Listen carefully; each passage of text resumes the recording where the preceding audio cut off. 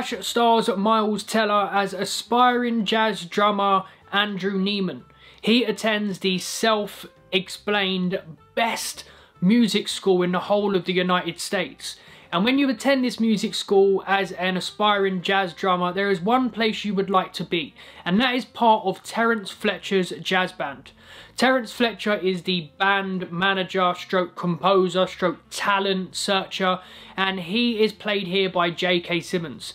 The character is a narcissistic perfectionist who will go to extreme lengths to get what he wants from his band.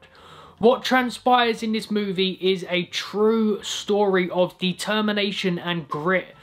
J.K. Simmons' character pushes Miles Teller's character to some extreme lengths to get the perfection that he believes is there. This is a truly inspiring movie and one which I thoroughly enjoyed from start to finish. Miles Teller is awesome as Andrew Neiman and I am not the biggest Miles Teller fan. He is very much hit and miss in the movies I've seen from him. But in this one, he put on a fantastic performance. But let's not beat around the bush here. J.K. Simmons is the highlight of the movie. His role of Terence Fletcher is insane.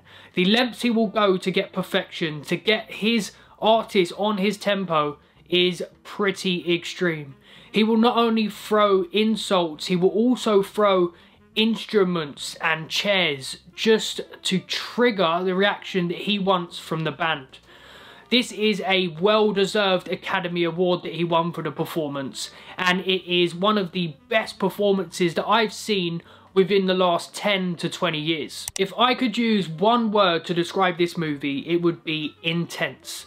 The intensity brought from the two main characters is of the highest degree.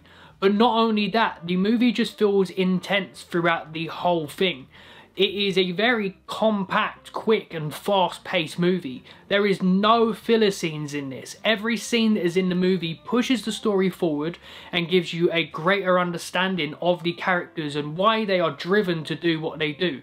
If you watch this movie and you are not inspired to work on your dreams, to just put in that extra 10%, then I'm sorry, you're just not going to find drive anywhere else. This is a magnificently well constructed movie from start to finish. Everything about this movie is top tier filmmaking. Damien Chazelle done an amazing job with the direction. The editing from Tom Cross is just perfection. It allows the movie to be as quick and as fast paced as it was. And to be honest, alongside J.K. Simmons, Tom Cross thoroughly deserved his Academy Award as well for the editing because he is one of the main reasons the movie was intense as it was. The final 10 minutes of this movie is probably some of the best filmmaking you're ever going to see. It is most certainly the best 10 minutes of movie that I've seen in the last 10 years and is a movie which thoroughly deserves to be acclaimed as much as it is. It is my favourite movie from the year 2014 and I would have expected most people to have seen the movie as of yet.